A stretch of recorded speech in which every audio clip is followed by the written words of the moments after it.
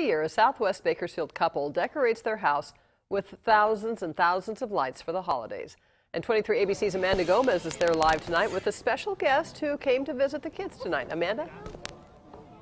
Well, Jackie, Santa has arrived. Let me show you this line that's already starting to form here of the kids just waiting to get a chance to talk to Santa, let him know what they want for Christmas. Santa and Mrs. Claus are here. We also have Santa's helpers, some elves here. This is put on by a couple here on uh, Fortune Street, Wayne and Karen Moulet. They do this every year just to put a smile on the faces of kids in this neighborhood.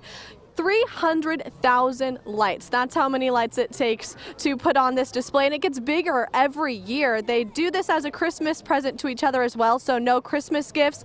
And in case you're wondering, last year their PG&E bill nearly $2,000, and that was last year. So this year it could be a little more as it continues to grow every year. This event will be going on until 9 o'clock if you want a chance to take your kids out and see Santa. The lights will be up until New Year's Eve.